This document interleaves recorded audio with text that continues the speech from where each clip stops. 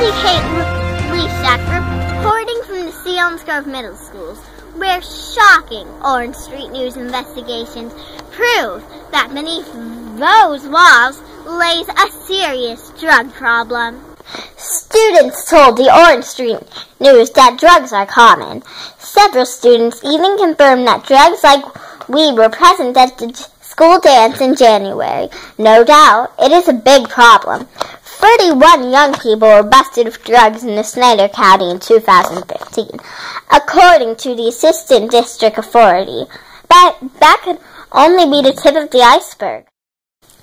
Superintendent Chad Cohrs told the Orange Street News that he was unaware that there's drugs at the dance, but, but the school is taking action, including drug assemblies and having drug dogs come and sniff the student lockers. Students say that's not enough.